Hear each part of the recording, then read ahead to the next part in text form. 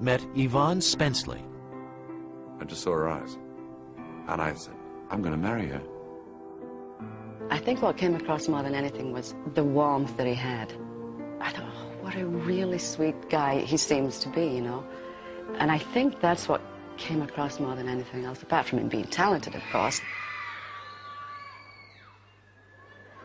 I think that attracted me to him, and he was really cute.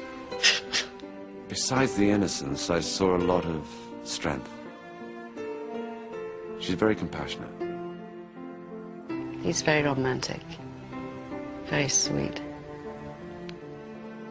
Oh, definitely, without question. The, the best thing I've ever done is marry Yvonne. Without a doubt. This is my turn to do a solo.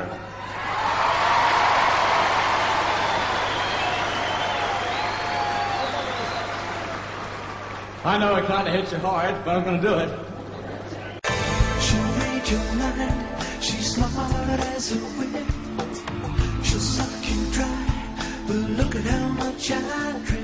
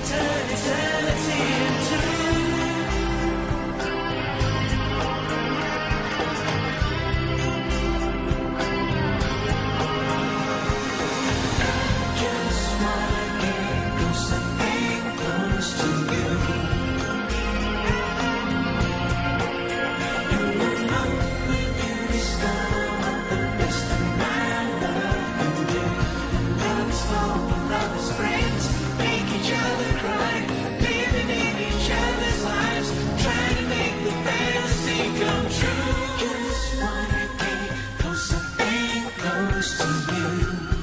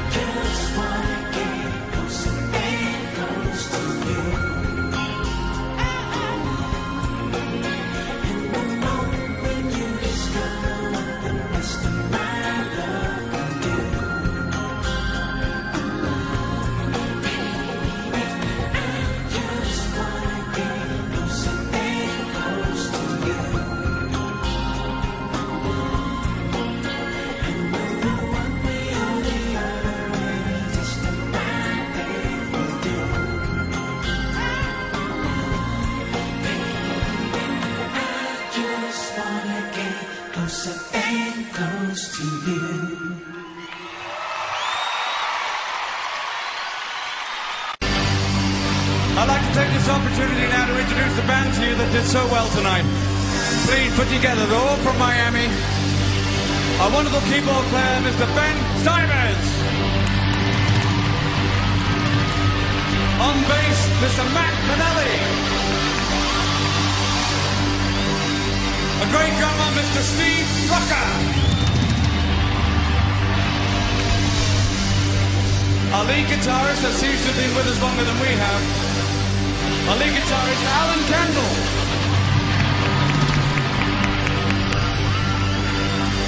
And the young lad on the end is also my nephew and Barry's oldest boy, Stephen Gibb.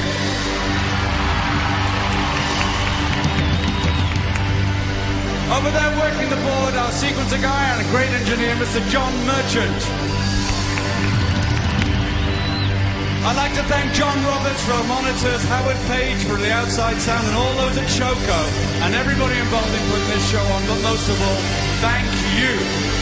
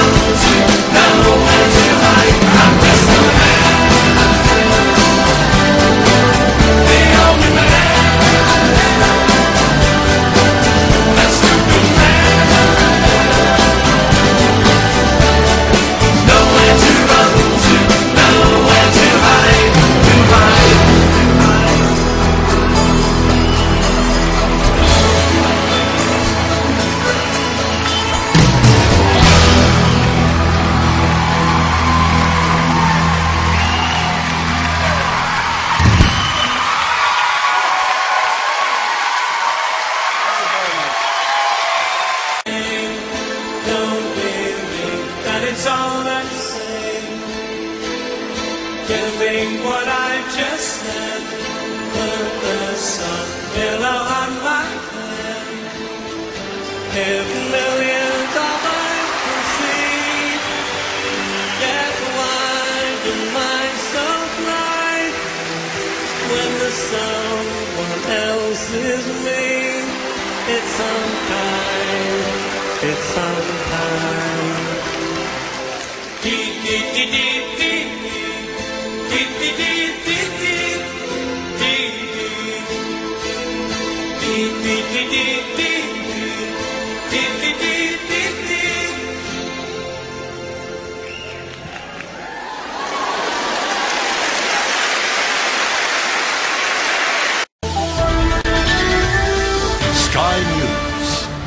John. Good evening. The music industry and fans around the world are mourning the loss of BG Maurice Gibb. He'd been in a critical condition since being rushed to hospital last week after collapsing at his Florida home. Maurice, his twin Robin and their older brother Barry formed the Bee Gees as youngsters in 1958 in Brisbane. The 53-year-old had been in a critical condition in hospital after suffering a heart attack and undergoing abdominal surgery. His wife Yvonne, his two children and twin brother Robin, who'd flown in from the UK, are believed to have been by his side at Miami's Mount Sinai Medical Centre. The families released a statement saying his love and enthusiasm and energy for life remain an inspiration and he'll be deeply missed. Wow. Um, that was pretty amazing. Thank you, NSYNC. Unbelievable. Um, yeah. Uh, I think this is uh, just a little bit harder than Robin and I imagined it could ever be. Yeah, getting harder. um, you know, the measure of a man is his family. We think, anyway. And so we want you to meet Maurice's family. Where are you guys? Hi, Aretha. Can you stand up, please? Yvonne, Adam, and Sammy. All right. There's the measure of a man, right there.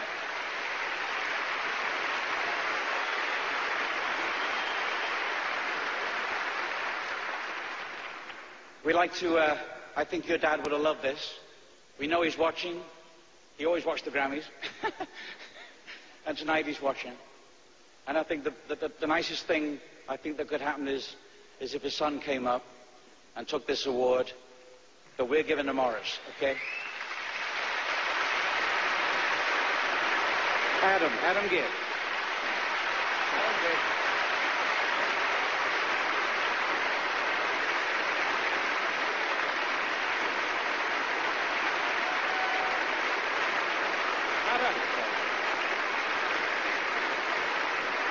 I'd just like to say, oh, we- we love Maurice very much, and he's in our hearts forever, and we're very proud of him tonight. Thank you.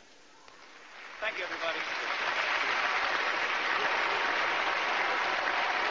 I just wanted to say um, that I know how much my dad loved doing what he did, and um, and he would have loved being here right now. Um, but uh, I just I know he'd want to thank one person, and uh, and it's my mom, because because uh, she was his rock, and. Uh,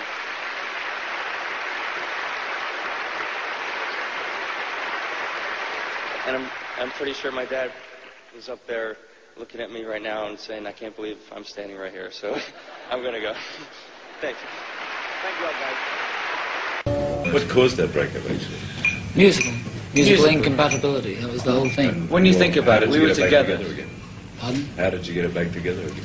Brothers. That was it. I mean, you can't avoid each other all your lives. It's, We were together argument. like a month before our manager knew it. No, the, the idea was when we broke up, we were children.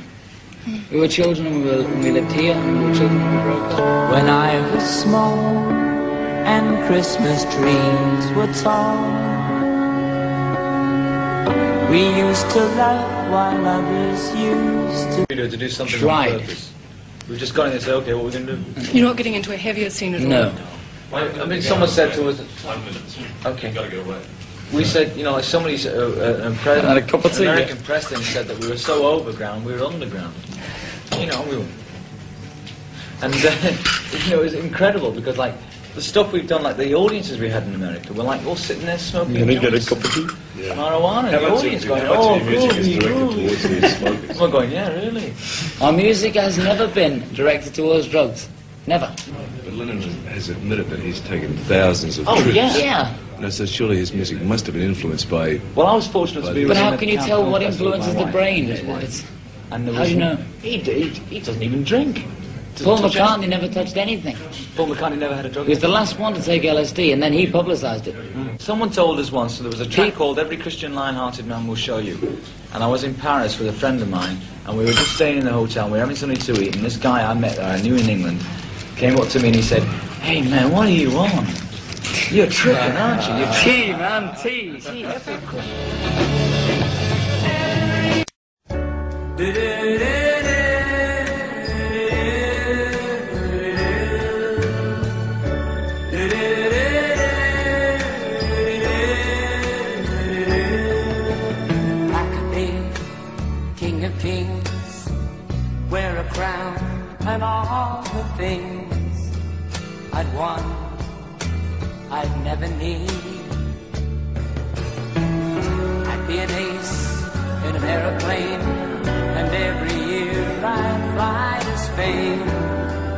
if I could get the nerve to plant the seed.